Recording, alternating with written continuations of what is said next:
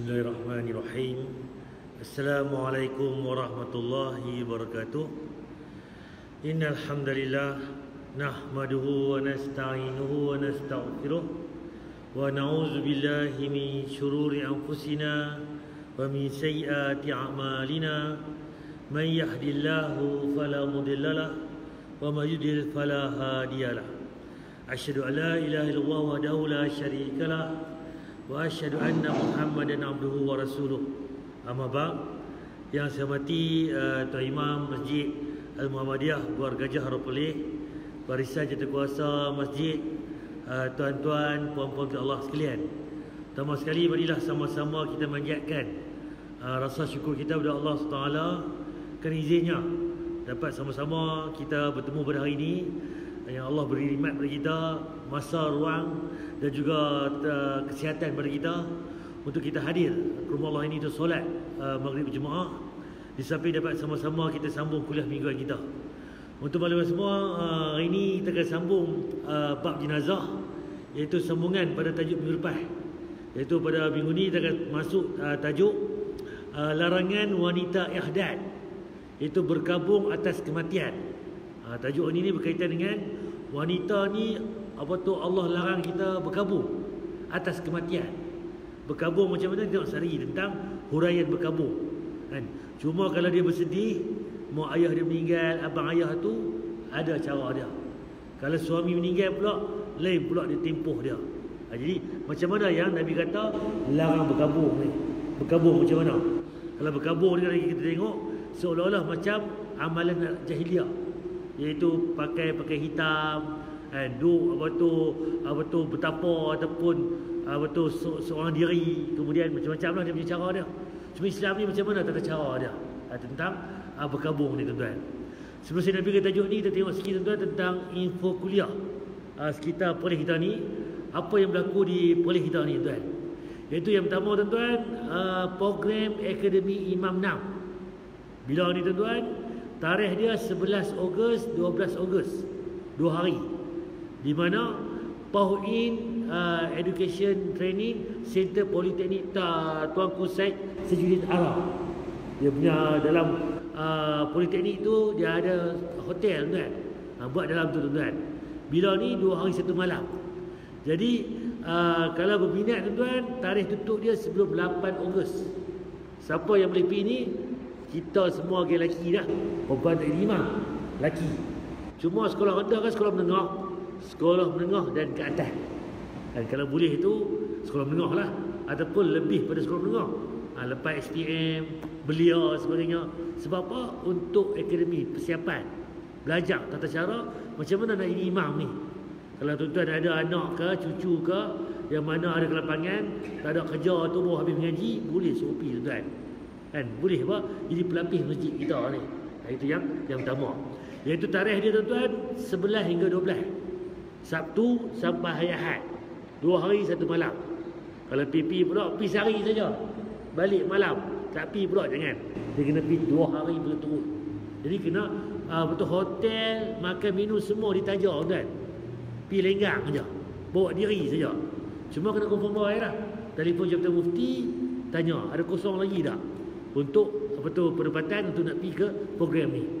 Pengisian dia ada tentang solat, tentang masalah sekitar solat, kemudian hukum hakam khutbah, kemudian zikir maksus selepas solat, apa saja zikir yang Nabi ajak kepada kita, kemudian hukum hakam berkaitan dengan solat berjemaah, dan esok pula tu uh, betul tahsin tilawah Al-Quran, pengurusan jenazah, dan juga hukum hakam perkahwinan. Fikir lengkap kan? Ha, kira berat lah Kalau kita pergi hantar budak sekolah rendah ni, kan? Kadang tidur malam pun kencing tilam lagi. Oh, tak kena lah. Jadi kena hantar orang yang yang apa tu sesuai kan. Jadi boleh tuan wawarkan kepada anak karya tuan-tuan ni siapa yang berminat boleh telefon jatuh mufti. Tak pun pi ke sana tanya nah, macam mana keadaan dia. Tu yang pertama tuan. Yang kedua pula tuan-tuan ilmu dari segala ayat. Ha, depan saya ni ada ayat ni macam mana dengan ayat ni ada ilmu tuan-tuan. Berbeza orang dengan segala ayat. Kita bertengok dia ni ada ilmu tak dengan ayat ni? Kan? Pegang ayat pun boleh tengok macam mana. Cara suap, cara dan sebagainya. Jadi rupanya minum air ni pun kena ada ilmu. Kita boleh nilai orang tu dengan minum air tuan. Manusia akan dibedakan derajatnya hanya dengan satu gelas air ini. Orang yang punya ilmu, dia mengambil dengan tangan kanannya. Maka dia dapat satu pahala. Karena Nabi SAW mengatakan, makanlah dengan tangan Okey, pertama sekali, kalau ada air gelas apa, ambil tangan kanan. Sunnah Nabi apa-apa, makanlah dengan tangan kanan. Kalau cokodok ke, ke karipak ke, nasi ke, suap dengan tangan kanan. Itu sunnah yang pertama tuan. Bila buat lagu tu dapat satu pahala. Tiba-tiba kita ambil tangan kiri. Suap tangan kiri. Boleh. Makan juga, minum juga. Tapi tak dapat pahala tu tuan. Bahkan mengisi sunnah Nabi pula. Sebab itu perbuatan syaitan. Syaitan minum tangan kiri. Makan pun tangan kiri. Kita tak mau sama dengan syaitan, kita nak makan tangan kanan, minum dengan tangan kanan. Itu hadis pertama. Dan ketika akan meneguknya dia mengatakan Bismillah. Maka dia dapat dua pahala. Karena Nabi SAW mengatakan ucapkan Bismillah. Hadis Muslim, ucapkanlah Bismillah. Ya gulam, wahai budak, katakanlah Bismillah. Nak makan, Bismillah. Nak minum, Bismillah. Dapat pahala kedua tuan. Kalau tak baca, boleh juga minum. Suka-suka lah nak minum pun Ustaz. Dapat ayat ni. Boleh minum ayat tak minum apa. Tak baca doa pun. Tapi tak dapat pahala di situ. Bahkan tak ada keberkatan pula. Sebab minum minum tak baca bis, bismillah. Right? Ketika dia akan meminumnya tidak meniupnya walaupun panas. Maka Nabi SAW mengatakan dan janganlah engkau bernapas di bezana. Okey, hadis Muslim. Ada Nabi Habib dalam hadis tu, jangan kita bernafas dalam apa? Ayak kan. Nafas macam mana Ustaz? Kita tiup. Ayak panas kopi, tiup sikit, heruk pula. Tiup pula, heruk pula. Kalau panas, biar dulu tuan-tuan. Biar ada sejuk sendiri tuan. Kan? Biar ada suara sembang sat ke. Kan? Tengok-tengok kan sikit. Ni dah panas tuan. Oh, nak minum kali juga. Kan? Kita duduk buah, buah, buah. Tak boleh tuan. Tak tepat. Bahkan perbuatan tu tuan-tuan kalau kesihatan kita pun tak bagus tuan. Kan? Dari kesihatan tak bagus. Ha, tapi buat Nabi apa? Jangan kita bernafas di bejana, di gelas, di kolek, di apa, di mak, di apa tu di cawan. Jangan. Tu hadis yang ketiga. Bila buat lagu tu dapat tiga pahala tuan. Kemudian apa? Disunahkan meneguknya tiga kali. Walaupun boleh satu kali, tapi adanya tiga kali. Maka dapat empat pahala. Hadis yang ketiga, keempat pula, sunnah Nabi ayak ni kita minum tiga kali.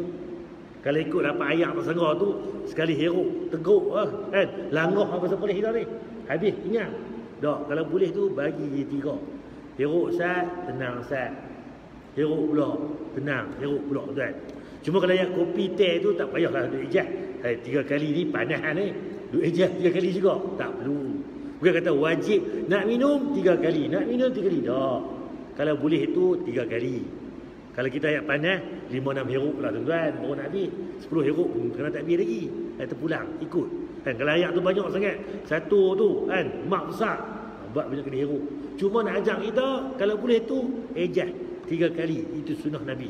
Itu hadis yang yang keempat. Nabi SAW mengatakan, apabila beliau meneguk air dari gelas, maka beliau bernapas. Artinya bernapas itu tiga kali. Ha, hadis Muslim. Ustaz, pening Ustaz. Tadi kata jangan bernafas dalam air. Ni pula suruh bernafas pula. Bukan. Tadi kita tiup dalam air. Tiup. Kan? Yang ni pula kita minum sekali. Letak. Tarik nafas. Tenang, relax. Minum pula. Kan? Rehat, tarik nafas, relax. Tak kalut kan? Tu cerita dia. Taklah tersedak kan? Ni minum kurang tersedak pula. Siapa panggil nama aku? Tak ada orang panggil pun nak kan? Tak ada siapa teringat dia pun. Orang tu tahu apa? Siapa tu teringat ada orang sebut nama tu. Tersedak. Bukan. Kita minum tu langgar. Kan? Tak cermat. Kan? Jadi hindarkan benda tu tuan.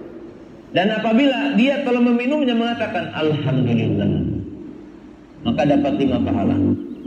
Sekarang orang minum. Nampak? Last kali habis minum. Alhamdulillah.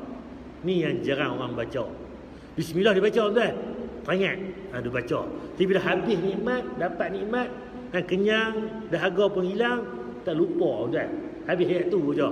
Bila macam Alhamdulillah pun tak tahu. Berapa tahun? Ustaz umur saya ni 60 dah. 30 dah. 40 dah. Jarang kita, kita, kita kira. Berapa banyak kita baca Alhamdulillah. Bismillah mungkin kita baca tuan. Tapi alhamdulillah tu jarang-jarang baca. Jadi lepas ni tuan-tuan, kita amalkan alhamdulillah. Kita syukurkan rezeki Allah tuan. Kan? Hilang pun apa tu, dahaga pun hilang, makan pun kenyang, alhamdulillah tuan. Itu sunnah Nabi, Nabi ajak kita. Dengan tangan kiri tidak ada bismillahnya, tidak ada apa-apanya. Tidak ada derajat dengan satu gelas ini. Tapi orang yang berilmu berkumpul beberapa derajat dengan satu gelas ini. Nampak tuan? Orang berilmu tuan, segala hayat. Semua minum air yang sama. Tapi beza ni macam mana? Ilmu yang dia faham. Ilmu yang dia amal. Tahu saja, tak buat, tak jadi. Kena belajar, tahu dan amal. Ambil tangan kanan, selesai. Bismillah, dua pahala ada. Kan? Kalau ayam tu ni, tak ejah tiga kali minum. Kan? Dapat lagi. Kemudian dah habis, Alhamdulillah, selesai. Jadi orang yang tak berilmu, dia langgah kemudian dia aja. Kenyang tak kenyang, nombor dua. Jadi aku langgah. Kan? Nampak tak? Kita nak keberkatan, tuan. Nak berilmu, tuan. Sebab Allah ni tak nampak, tuan. Akhirat nanti, Allah. Kalau aku tahulah dulu ni, kat dunia dulu ni makan macam ni rupanya cara dia minum macam ni kita beza tu kan mungkin masuk syurga yang sama tapi darjat dia berbeza kawan kita tinggi atas eh belum tinggi kita tu kan kita di bawah tu kan tak tahu tu kan sebab apa darjat berbeza kita sama juga Al-Quran pun dikira tak mana last kita berhenti darjat kan jadi darjat ni penting di dunia ni mungkin kita dua kira darjat oh pangkat kan gelaran darjat dunia tapi darjat akhirat kita lupa tu kan tak apalah masuk syurga pun tak apalah ustaz. Alhamdulillah masuk syurga. Ya alhamdulillah masuk syurga. Tapi kat sana nanti, ish, aku rugi masuk syurga ni. Baru fikir kan. Aku main awal masjid tak apa itu ni. Daripada, daripada, daripada main lambat, duduk menyembang sebagainya. Baca Quran sikit, tambah semuka aja. Dah jauh dah tinggal. Kalau lima waktu ni aku amal, tiap satu waktu tu, satu muka, dah lima muka dah. Subuh pula berderah lagi hujung minggu. Eh, malam pula sebelum tidur, berderah lagi. Contoh. Tu aku ada kan. Benda-benda lain pun sama juga tengok tentang, tentang ganjaran dan pahala yang Allah bagi. Okey, itu tentang tajuk awal tu tentang tambahan. Cuma ni saya sentuh sikit tuan-tuan. Minggu lepas. Ulang kaji sikit. Larangan menutup kepala dan wajah jenazah orang yang sedang ihram. Rupanya tuan-tuan, jenazah orang yang sedang ihram ni tak perlu kita tutup kepala dia. Siapa yang memang lepas faham yang mana dia ni boleh meninggal dalam keadaan pakai ihram, meninggal dunia. Apa cara dia? mandi macam biasa. Kan? Kita mandi dengan biasa, cuma main tangkapan tu kita kafan semua tempat biasa, tapi tang kepala kita biar terbuka. Nah, kalau kepala lelaki ni biar kepala dia, muka semua terbuka. Kalau perempuan pula wajah saja. Rambut ni semua ni tutuplah. Dan muka dia saja biar terbuka. Kita, kita lah ni kalau jenazah kita ditutup habis. Kan? Tu yang kita buat sekarang. Cuma orang yang jenazah yang dalam ihram ni beza. Sebab apa ni dalil dia? Iaitu dari Ibnu Abbas radhiyallahu anhu ia berkata, ketika seseorang wukuf di Arafah, ada seorang lelaki ni uh, tiba-tiba jatuh dari unta dia. Jatuh pula patah leher dia, meninggal di tempat kejadian tuan. Kemudian apa Nabi beritahu? Mandikanlah dia dengan air. Uh, mandi dia dengan air. Dan kemudian uh, dan daun bidara. Kafanilah dia dengan dua lembaran kain pakaian ihram dia. Ihram ada dua, satu atas, satu bawah. Ambil dua-dua tu buat kain kafan dia. Cuma Nabi pesan di sini jangan diberi wangi-wangian. Dia terikat. Macam mana dia ihram tu tak boleh pakai minyak wangi, teh mati pun sama juga tak boleh pakai wangi-wangian. Dia jangan ditutup kepalanya. Nabi pesan lagi, jangan tutup kepala dia. Kerana pada hari kiamat nanti dia akan dibangkitkan dengan mengucapkan tarbiyah. Talbiyah ni. Labbaik Allahumma labbaik. Labbaik la syarika labbaik sampai habis. Punya orang yang mati dalam keadaan ihram ni dia dibangkit pun dalam keadaan bertalbiyah. Maksudnya dalam keadaan haji tuan. Jadi kalau mak ayah kita ataupun adik-beradik kita meninggal, tanya dulu. Meninggal dekat mana ni? Dia dalam keadaan ihram. Oh, kalau dalam keadaan ihram, tahu dah. Tak perlu kita buat haji untuk dia. Walaupun dia tak habis haji lagi. Dia pakai ihram tu, memang dia dalam keadaan berhaji tu tuan.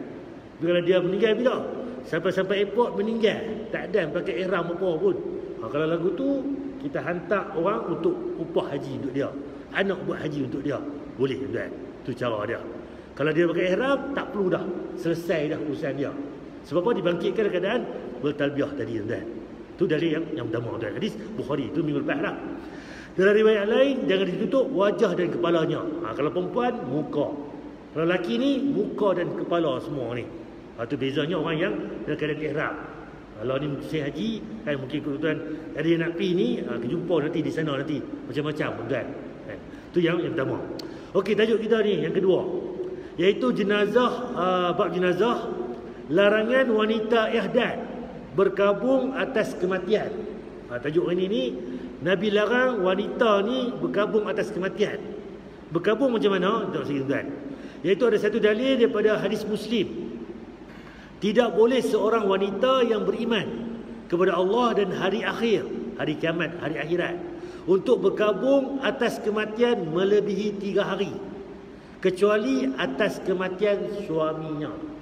Rupanya tuan-tuan, kalau kita ni ada apa apa tu isteri kita contoh meninggal mak dia, meninggal ayah dia, meninggal adik dia. Kita boleh biarkan dia bersedih berapa hari? Tiga hari tuan. Tak boleh lebih pada tu. Dan kalau suami pula bukan tiga hari, dia lebih tuan. Dalil yang kedua pula cerita pula hadis Bukhari, maka ia berkabung atas hal tersebut selama empat bulan sepuluh hari. Kalau dia isteri, dia kena bergabung berapa? 4 bulan 10 hari. Tapi kalau adik dia meninggal, mak dia meninggal, cerita lah. Ada abang meninggal, kakak meninggal, mak meninggal, ayah ke, pak mentua ke. Siapa-siapa saja, 3 hari saja maksimum. Tak boleh lebih pada tu. Tapi kalau orang perempuan ni, dia isteri, suami dia meninggal. Berapa hari? Bukan 3 hari. Kena 4 bulan 10 hari. Ni dari yang pertama tuan. Hadis Bukhari tuan. Kita pergi lagi tuan. Okey, makna berkabung dalam Islam. Macam mana maksud berkabung tu? Berkabung dalam bahasa Arab adalah al-haddad. Maknanya tidak mengenakan perhiasan baik berupa pakaian yang cantik, minyak wangi ataupun lain-lain yang dapat menarik orang lain untuk menikahnya. Dia boleh dua orang perempuan lah. Macam mana berkabung ni? Dia pakai pakaian yang tak menarik perhatian orang. Minyak wangi pun tak cengih apa tu sampai menarik perhatian lelaki. Itu tuan dan apa bentuk hiasan yang menarik oh dia untuk orang nikah dia. Itu bahasa dia. Kemudian pendapat lain menyatakan al-haddad adalah sikap wanita yang tidak mengenakan segala sesuatu yang dapat menarik orang lain untuk menikahnya seperti minyak wangi, celak mata, pakaian yang menarik dan tidak keluar rumah tanpa keperluan mendesak setelah kematian suaminya. Kalau dia isteri ada terikat dengan tadi ini. Kan? Apa iddah Masa kita idah kan. Ha, tu idah. Berapa? 4 bulan 10 hari. Macam mana? Keluar rumah. Dia tak boleh keluar rumah tuan. Duduk di rumah tuan. Ha, cuma nak duduk rumah. Macam mana ni Ustaz? Beras ni tak ada. Dia pula. Kan ada siapa anak pun tak ada. Sorang-sorang dia je. Boleh. Pi beli makanan apa ke boleh. Sekadar pi beli balik. Ha, kata nak pi apa tu? Oh ni ada percutian ni Bali. Tiket kapal terbang. Ha, murah. Ujung bulan ni. Ha, tak boleh melancong ke apa ke tak boleh. Tunggu sat kalau dia bekerja pejabat dia masih bekerja pejabat lagi contohnya kan? Duk pergi kerja macam mana ustaz? Lagu tu tak pergi kerja 8 bulan. Dah. Boleh pergi kerja. Naik kereta start kereta pergi kerja. Habis kerja balik. Nak beli minyak? Ah boleh minyak. Nak beli barang? Beli barang yang mana? Yang asas saja. Nak kata seronok-seronok enjoy apa? Tak ada. Tu yang maksudnya. Mereka kata Islam ni tak bagi buat semua. Dah Kan? Yang mana yang lara tu, yang mana yang tadi ni pi apa tu pakai minyak wangi pun boleh pakai minyak wangi. Boleh pakai minyak wangi yang hilang bau badan saja. Tak ada sampai bau-bau. Oh ni bau ni, bau kakmoh ni. Ni bau leha ni. Ha, ni bau Aisyah ni. Ha, boleh tahu pula lagu tu bau. Ha, nampak. Dia, dia menyanggahi apa yang Nabi larang. Cuma minyak wangi tu apa? Untuk bau badan dia saja cukup.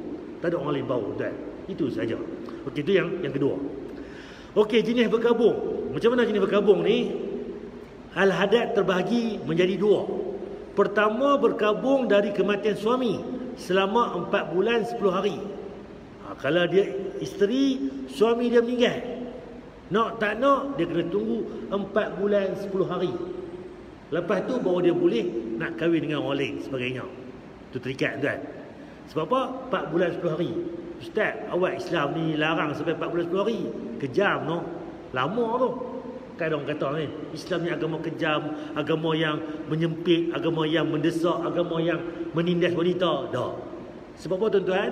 Kalau sebelum main Nabi, Nabi Muhammad, Orang Arab jahiliah dia buat satu tahun tak boleh pergi mana. Orang Arab jahiliah perempuan tu tak boleh pergi mana duduk rumah saja. Berkurung kat rumah tuan. Berapa? Satu tahun tuan. Ni 4 bulan 10 hari saja. Setahun tu bagi dengan 4 tuan. Ha, masih longgak lagi. Dan benda ni pula untuk siapa? Untuk perempuan tu juga. Sebab apa? Contoh, suami dia mati kemarin. Duduk seminggu lepas tu, ada orang nak minang dia, nak berkahwin dengan dia. Dia pun kahwin dengan orang tu. Lepas tu, mak lelaki tu, tiba-tiba, eh, mengandung. Elok nak mengandung nanti, eh, ni bukan anak aku ni. Ni anak lelaki hang lama ni. Nampak tuan? Nak kata apa tuan? Perempuan tu, eh, dah, mana lelaki lama? Lelaki lama lama lah, tak, duduk bersama dengan dia. Yang nak hang ni, ha, gaduh tuan, nampak? Akibat dia. Kalau 4 bulan 10 hari, clear. Kalau dia bersama dengan isteri dia, lepas tu, kan? Satu bulan sekali cuci haid, bersih dah. Dua bulan, dua kali cuci. Tiga bulan, tiga kali cuci. Empat bulan tu, clear dah. Kalau kahwin lepas empat bulan tu, kalau beranak tu, bukan anak orang lain dah. Anak dia tu kan. Nampak kan? Islam jaga hak wanita itu. Hak waris itu. Kan? Ni harta ni macam mana pula ni? Nak pergi pada ayah nu ke ayah ni kan? Nampak? Kalau kabut tu kan? Islam bukan agama mendera. Bukan semua agama yang nyempit. Dia keluar daripada masalah. Orang nampak tak? Rupanya macam tu. Islam jaga nasab. Jaga keturunan. Jaga apa tu wasi apa tu keturunan harta dan sebagainya tu kan. Itu Islam dan cantik. Okey. Kedua. Berkabung dari kematian salah seorang ahli keluarga dia. Selain suami selama tiga hari. Pembagian ini berdasarkan Saudara Salam iaitu tidak boleh seorang wanita yang beriman kepada Allah dan hari akhir untuk berkabung atas kematian melebihi tiga hari kecuali atas kematian suami dia. Kalau meninggal adik dia kakak dia mak dia ayah dia sedih ya memang sifat semua manusia lumrah sedih kan beri masa kesedihan tu kan? Berapa hari? Tiga hari tuan. Itu apa tu maksimum masanya lepas tu tak boleh dah tuan tapi bila mai laki dia meninggal bukan tiga hari bukan tujuh hari 4 bulan 10 hari tuan-tuan. Sebab apa dalil yang kedua kata di dua hari maka ia berkabung atas hal tersebut selama 4 bulan 10 hari. Kalau suami meninggal 4 bulan 10 hari. Okey. Hukum berkabung atas kematian suami. Ha, macam mana pula tuan-tuan? Ulama ahli sunnah bersepakat kecuali Hasan Al-Basri, Al-Hakam bin Utaibah dan Asy-Sya'bi menyatakan hukum, uh, bahawa hukum berkabung dari kematian suami uh, suami selama 4 bulan 10 hari adalah wajib. Semua ulama carilah tak mana-mana pun 4 bulan 10 hari. Tapi tiga orang ni dia kata bukan 4 bulan 10 hari. Kan? kan? Jadi itu yang pertama. Apa dalilnya? Orang-orang yang meninggal dunia di antara di antaramu dengan meninggalkan isteri-isteri hendaklah para isteri itu menangguhkan dirinya beriddah 4 bulan 10 hari. Siapa bagi tahu? Allah sendiri bagi tahu. Al-Baqarah ayat 234. Kemudian apabila telah habis masa iddahnya maka tiada dosa bagimu para wali membiarkan mereka berbuat terhadap diri mereka menurut yang yang patut. Allah mengetahui apa yang kamu berbuat. Nah, kalau kita ni apa wali kita ni ada adik kita kan meninggal suami dia kita waris dia kita wali dia kan kita berhak jaga dia 4 bulan 10 hari. 4 bulan 10 hari. Kalau habis tiba tu ya silakan. Orang nak minang ke dia nak pergi apa dia nak nikah ke apa ke silakan. Terlepas dah. Lagi tak cukup 4 bulan 10 hari bawah tanggungjawab kita. Siapa beritahu? Allah beritahu tuan surah al-baqarah ayat 234 okey. Dari Zainab uh, binti Abu Salamah beliau berkata aku telah mendengar Ummu Salamah berkata seorang wanita datang menemui Rasulullah SAW dan berkata wahai Rasulullah Sesungguhnya putriku ditinggalkan mati suaminya dan ia mengeluh sakit pada matanya. Apakah ia boleh mengenakan celak mata? Nampak tadi. Nabi larang pakai minyak wangi, bercelak, berhias. Kemudian dia ni ada tu putriku ada ni anak dia tu kehilangan suami dia kan dia sakit mata. Untuk malam tuan-tuan, celak mata ni di, di sebalik kita buh bagi mata cantik, indah, elok, orang Arab pakai lah kita Melayu ni pakai tak pakai? Kan, kan? tapi bagi mereka ni salah satu dia perhiasan. Kedua celak mata ni ubat mata. Tak bagi sakit mata. Pakai untuk ubat kan kemudian Nabi jawab apa? Tidak. Sebanyak dua atau tiga kali. Semuanya dengan kata tidak. Kemudian SAW pun berkata itu harus 4 bulan 10 hari. Dan dahulu salah seorang daripada kalian pada zaman jahiliah membuang kotoran binatang pada akhir tahun. Apa lebih abang? Kok mana pun 4 bulan 10 hari. 4 bulan 10 hari. Zaman jahiliah dulu ni mereka berkabung berapa hari? Satu tahun tuan. Ujung tahun tu cukup setahun baru mereka boleh keluar rumah nak kahwin lain sebagainya. Itu orang jahiliah. Nabi Muhammad awal dah. Hadis Bukhari tuan. Tidak boleh seorang wanita yang beriman kepada Allah dan hari akhir untuk berkabung atas kematian melebihi tiga hari kecuali kematian suaminya. Hadis Muslim. Perkataan ulama dalam hal ini Ibnu Qudamah iaitu menyatakan kami tidak mengetahui perbezaan pendapat di antara para ulama tentang kewajipan al-haddad berkabung ke atas wanita yang suaminya meninggal kecuali al-hasan. Beliau menyatakan tidak wajib semua ulama kata wajib 4 bulan 10 hari. Tapi Hasan apa tu tadi ni kan dia kata tak wajib. Ganjil tuan, warib tuan. Nama pendapat ini adalah pendapat yang syaz, agak janggal, agak pelik. Pendapat para ulama mengisi sunnah sehingga pendapat tersebut tidak di di apa diambil pakai. Sebab seorang dia yang kata kan tak wajib. Tapi ulama lain kata wajib. Sebab Allah yang Quran tadi Allah kata 4 bulan 10 hari. Itu kekuatan dia. Ibnu Qayyim pula kata, umat telah ber, ber, berijma' bersepakat tentang kewajipan al-hadad bagi wanita yang ditinggal suami mati suaminya kecuali yang diriwayatkan oleh Al-Hasan dan Al-Hakam bin Utaibah. Ha, jadi semua ulama setuju. Ulama ni yang, yang tak setuju. Kukul tuan tengok ni. Hai, ada dengar kata tak pakai 14 hari. Ha, dia mungkin pendapat daripada Hasan ni dan juga Al-Hakam ni. Tapi kalau tengok majoriti ulama lain setuju dengan 4 bulan 10 hari. Hukum berkabung atas kematian salah satu keluarga selain suaminya. Macam mana pula kalau meninggal anak, ayah, suami, isteri sebagainya, meninggal salah seorang ahli keluarga. Berkabung atas kematian salah seorang kerabat atau keluarga selain suami diperbolehkan selama 3 hari sahaja dan tidak boleh lebih. Maksimum berapa hari? 3 hari saja. Tak boleh lebih pada 3 hari walaupun diperbolehkan namun bila suami mengajak berhubung intim berhubung badan maka wanita tersebut tidak boleh menolaknya. Nampak? Bersedih ya. Tapi bila suami ajak bersama tak boleh ditolak kan dalam tiga hari itu kan itu apa tu? Ah, apa tu dia punya cara dia kan Ibnu Hajar pula menegaskan syariat memperbolehkan seorang wanita untuk berkabung atas kematian selain suaminya selama tiga hari. Kerana kesedihan yang mendalam dan penderitaan yang mendera kerana kematian orang tersebut. Hal itu tidak wajib menurut persepakat ulama. Namun seandainya suami mengajaknya berhubung intim, uh, berjima, maka ia tidak boleh menolaknya. Ha, nak sedih ya, sehari, dua hari, tiga hari. Jadi suami ajak bersama, bersama dia tak boleh tolak kan. Itu dia kena kena penuhi kan. Uh, Fatul Bari kan. Ibnu Hazm Iaitu menyatakan seandainya seorang wanita berkabung selama tiga hari atas kematian bapa, saudara, anak, ibu atau kerabat lainnya. Maka hal itu mubah harus boleh. Ibnu Qayyim kata lagi berkabung atas kematian suami hukumnya wajib dan atas kematian selainnya boleh saja. Suami wajib kena berkabung. Kalau yang lain itu nak buat pun tak, oh, tak buat pun tak apa. Bersedih-bersedih lah. Kan? Zadul Ma'ad kan? Okey, syarat-syarat diwajibkan al-hadad. Macam mana syarat dia tuan-tuan? Iaitu yang pertama, wanita tersebut berakal. Ha, kena berakal dan balik.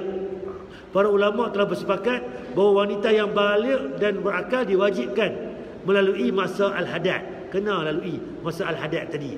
Namun mereka masih bersisih pendapat tentang wanita yang belum masuk masa balik ataupun gila, tak waras. Pendapat yang rajih, yang kuat adalah pendapat majoriti ulama yang mewajibkannya. Dia Islam, dia balik, dia tu apa tu berakal. Yang kedua beragama Islam. Syarat ini juga telah disepakati oleh para ulama perbezaan pendapat terjadi pada wanita ahli kitab. Adakah dikenakan kewajipan ini atau tidak? Ahli kitab kan? Dan dia kahwin dengan kita ni dia wanita ahli kitab kahwin dengan Islam. Kan? Pendapat yang rajih adalah pendapat majoriti ulama yang menyatakan hal itu diwajibkan atas wanita ahli kitab yang menikah dengan muslim lalu suaminya meninggal dunia. Dan akhir sekali menikah dengan akad yang sahih, yang sah. Gila tuan. Okey, eh, yang sama lagi masa waktu berkabung dan cara menghitung harinya. Macam mana nak kira waktu berkabung ni? Satu hari itu macam mana tarikh dia? Kalau 40 hari itu bila nak mula? Masa berkabung bagi wanita adalah 4 bulan 10 hari. Ini berlaku pada semua wanita kecuali yang hamil. Nampak tuan? Ambil Nabi pun ambil ambil. Semua wanita sama. 4 bulan 10 hari. Tapi bagi yang hamil tak terikat dengan 4 bulan 10 hari. Beza tuan. Wanita hamil yang ditinggal suaminya mati suaminya berkabung sampai lahir baby itu. Kalau meninggal katalah uh, laki dia baru meninggal tadi. Bila dia nak mula bergabung, esok tu hari ni tu sampai bila? Sampai lagi tak keluar anak tu lagi tu dah bergabung. Berapa bulan? Kalau mengandung tu 3 bulan dah, lagi 6 bulan lagi. Kalau mengandung tu dah 8 bulan, ah sebulan lebih lagi. Dah beranak anak tu baru habis dia punya iddah dia. Jadi maksudnya wanita yang hamil ni lagi tak beranak, lagi itulah dia kena berkabung. Kalau wanita yang tak hamil 4 bulan 10 hari tuan. Apa dalilnya? Allah berfirman. Dan perempuan-perempuan yang hamil waktu iddah mereka itu ialah sampai mereka melahirkan kandungannya. Dan barang siapa yang bertakwa kepada Allah, nescaya Allah menjadikan baginya kemudahan dalam urusannya. Jadi Allah beritahu sendiri surah At-Talaq ayat 4 waktu iddah bagi wanita hamil ni kan meninggal suami dia lagi tak beranak lagi itulah dia iddah dia. Kalau dah beranak anak tu selesai masa iddah dia tuan. Juga hadis Subai'ah yang berbunyi ada satu hadis tuan tadi Allah berfirman dalam Al-Quran ni Nabi cerita pula. Umar bin Abdullah bin Al-Qam Az-Zuhri menulis surat kepada Abdullah bin Utbah memberitahu kepadanya bahawa Subai'ah telah menceritakan kepadanya bahawa ia Subai'ah adalah isteri Sa'ad bin Khawlah yang berasal dari Bani Amir bin Luai dan dia ini termasuk orang yang ikut perang Badar. Lalu Sa'ad meninggal dunia. Sa'ad ni ikut perang Badar, dia meninggal dunia. Kemudian pada haji wada sedangkan Syubai'ah ni dalam keadaan hamil. Isteri dia ni hamil, mengandung. Tidak lama kemudian setelah suaminya wafat, ia melahirkan anak. Suami dia meninggal, tak lama lepas tu dia pun lahir anak. Tidak lama kemudian setelah suaminya wafat ia melahirkan ketika selesai nifasnya dah habis darah nifas masa nifas semua tu habis maka Syubai'ah tadi berhias untuk dinikahi dia biar-biar-biar pakai cantik untuk nak dinikah Abu Sanabil bin Baqa ni pula daripada Bani Abu Dar menemuinya sambil berkata mengapa saya lihat kamu berhias nampaknya kamu ingin nikah aku tengok hang ni duk berhias-hias ni nak nikah kot dia tanya Syubai'ah tadi Kan? Kemudian uh, tidak demi Tuhan, demi Allah kamu tidak boleh menikah sampai selesai 4 bulan 10 hari. Dia kata, hang tak boleh nikah. Ada pakai cantik ni tak cukup lagi 4 bulan 10 hari, tak boleh nikah. Kan? Demi Allah hang kena beredah 4 bulan 10 hari. Betul juga kata dia. Sebab Nabi kata apa? 4 bulan 10 hari. Kemudian Syubai'ah tadi berkata, ketika ia berbicara demikian kepadaku, maka aku pun memakai pakaianku pada petang itu pergi jumpa Nabi. Jadi kebetulan zaman mereka tu ada masalah saja jumpa Nabi. Selesai masalah dan kemudian SAW pun memberi fatwa kepadaku bahawa aku telah halal untuk melahirkan uh, dengan melahirkan uh, anak tadi dan memerintahkan aku menikah bila aku ingin. Jadi pendapat dia tadi tak diterima. Memang betul dalil kata 4 bulan 10 hari. Tapi Syubai'ah tadi meninggal suami dia, tiba-tiba anak dia pun dilahirkan, anak. Lepas beranak macam mana? Habis dah nifas, dia boleh bersiap-siap nak kahwin tuan. Ustaz, galak dia ni. Kata pula, dia ni galak no. Ninggal suami sat je, nak nikah lain. Yang kata kat dia tuan. Kita lelaki ni, bini tak mati pun nikah lain. Ha, nampak tuan. Tambah lagi kena isteri meninggal tadi, Zohor tadi, bawa simpan. Malam tu Aisyah boleh pergi kahwin lain tuan. Itu hak kita. Tapi kita tak buat lagu tu. Ish, Pak Mat ni, hey, niang betul. Bini baru meninggal pagi tadi. Kahwin lain dah malam tu. Tak boleh kata tuan, itu hak dia. Dia boleh buat.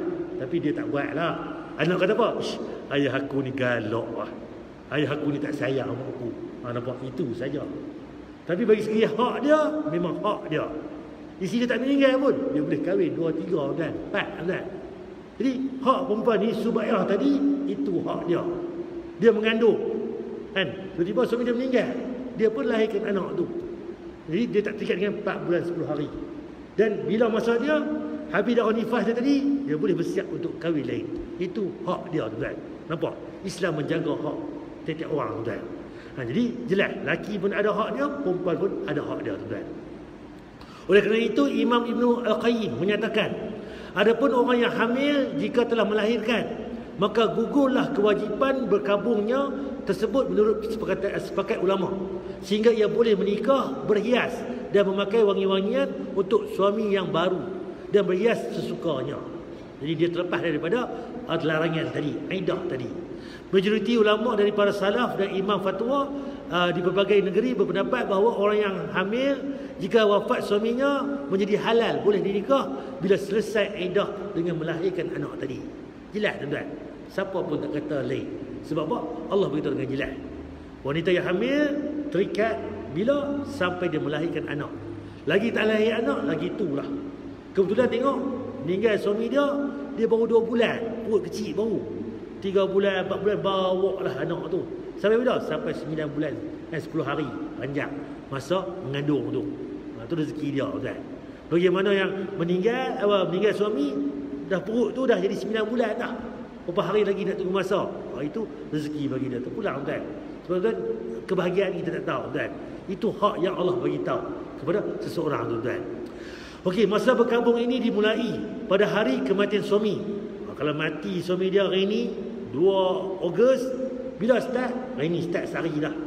Esok 2 hari, 3 hari, 4 hari, sebulan pula. 2 September, sebulan pula. 2 Oktober, 2 bulan dah.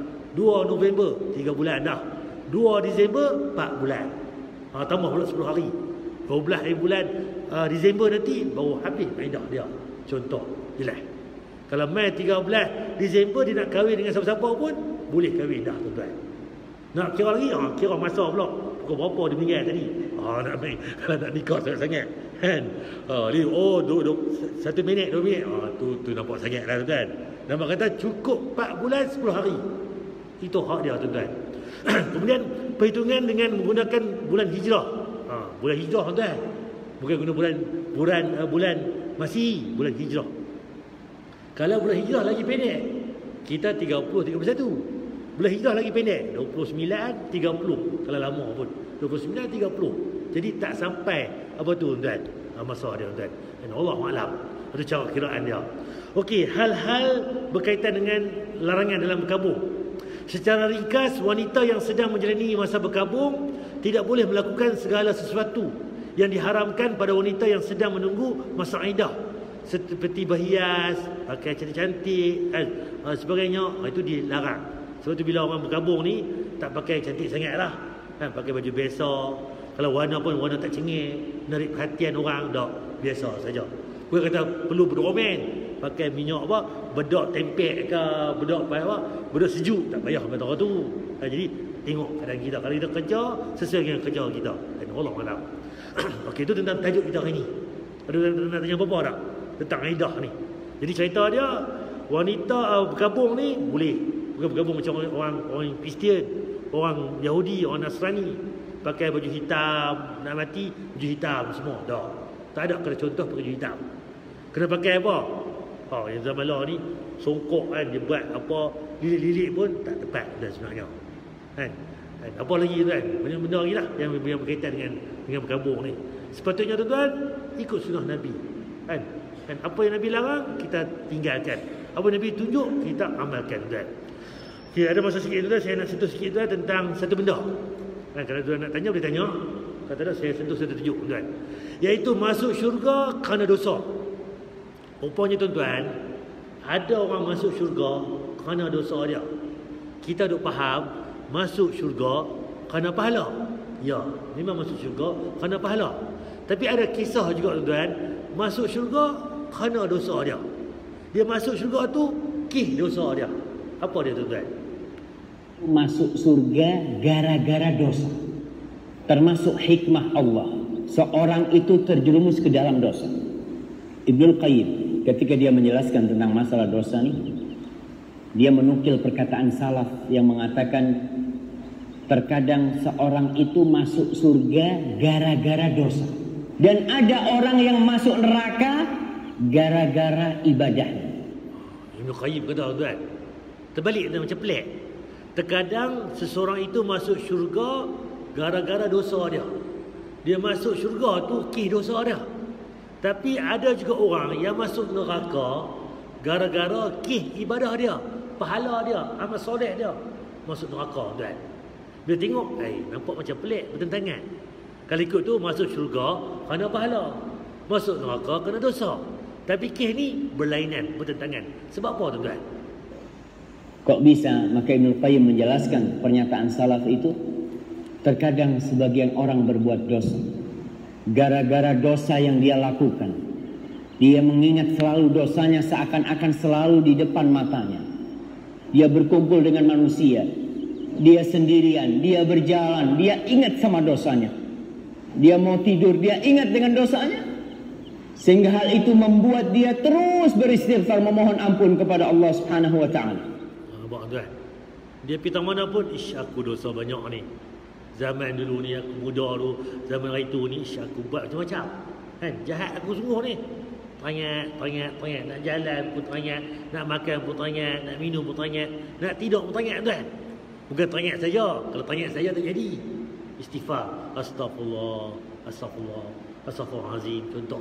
Taubat tuan. Itu yang dimaksudkan. Dia tanya, pergi mana pun, aku dosa banyak ni. Boleh hidup umur aku umur 50 ni pun. Eh kawan aku banyak dah. Eh 35 30 pi dah. 48 aku ni 50 ni. Contoh. Eh aku ni kali ikut dosa banyak lagi pada depa depa ni kan dosa banyak mana pun. Kalau tengok dah. Sekali duduk tengok tu aku banyak lagi. Tapi Allah bagi panjang umur aku ni apa yang aku buat apa betul aku buat kan aku bersyukur kan astagfirullahalazim minta ampun kepada Allah kan itu yang yang pertama yang dia takut dosanya enggak diampuni sama Allah sehingga terus dia berbuat kebajikan karena dorongan dosa yang dia lakukan dahulu. Subhanallah. Dan kadangkala sebagian orang karena Okey, nampak kan? Bila kita dosa banyak ni, kan? Banyak sedekah, banyak infak, banyak zikir, banyak baca Quran. Kita tahu kita ni banyak dosa. Kan? Tak tahu kita dah minta ampun ni, tak mana yang Allah ampun dosa kita. Semayang kita tu tak mana yang boleh cover. Tak tahu banyak lagi dosa yang lain yang Allah tak terima kan. Ibadah kita tak terima Allah. Allah masih simpan lagi dosa tu. Kita tak tahu. Tingkat, tingkat, tingkat. Kan? Baca Al-Quran, berdoa, berzikir, dan ibadah, semayang dan sebagainya. pahalanya karena ibadahnya karena ketaatannya dia bangga sehingga dia membanggakan kebaikannya lalu dia akan dihantarkan ke dalam neraka gara-gara bangga dengan kebaikan Okey, kedua pula ni, oh aku clear dah. Kemas dah aku. Ha, dia tu buat semua teruk dia tu.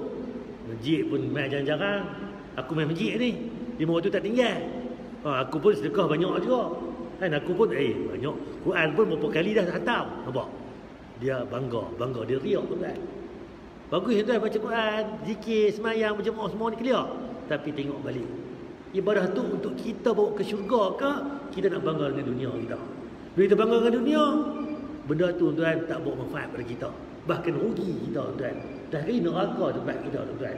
Nauzubillah tuan. Jadi jangan kita berlapang dada. Aku okey dah kot, dah tuan. Kita dalam keadaan diuji tuan. Oh ustaz, saya ni okey ustaz. Lama dah sihat ni, tak sakit apa, tak ada ujian apa pun. Okey ke no? Dah tuan. Tak semestinya juga. Orang yang diuji pun, ish ustaz, saya dosa banyak ni diuji-uji. Saya ni sial ustaz, saya ni banyak. Tak tuan, banyak bak tuan. Lagi diuji tuan, lagi Allah sayang, lagi Allah suka tuan. Itu bukti Allah sayang tuan. Cuma kita tak boleh berlapis dada, aku dah clear dah, dah tuan. Siapa pun tak tahu. Sebab pengakhiran nanti, kita tak tahu kita yang mana. Husnul khatimah ke su'ul khatimah. Kita nak keadaan berbahagia. Dalam su apa husnul khatimah keadaan baik. Mesti dalam keadaan bersedia dan bertaubat, pahala pun banyak, minta ampun pada Allah, dan rezeki apa tu, apa amal ibadah pun cukup sebagainya. Itu yang kita mahu kan. Dan Allah Alam kan. Jadi apa-apa tuan, kita beribadah. Apa betul niat kita balik tuan. Dan Allah Alam. Ada tuan nak tanya apa untuk tajuk ini? InsyaAllah tu dalam minggu depan Kita akan masuk tajuk uh, Hujung sikit berkaitan dengan jenazah ni Larangan keras Niyahah Meratap kematian Main meninggal Qiyau Waktu tepuk badan, koyak baju, tarik rambut, kecau sana kecau sini. Macam mana tuan? Itu niyaha. Kan macam mana apa yang Nabi larang, macam mana Nabi suruh sebagainya. Dan tentang minggu depan tentang meratap kematian. Ada yang nak tanya apa kan? Jelas nak tajuk ni? Sebab kita sama pula minggu depan. Kata apa saya berhenti dekat ni. Mana? Subhanakallahumma bihamdika asyhadu an la ilaha illa anta astaghfiruka wa atubu ilaik. Assalamualaikum warahmatullahi wabarakatuh.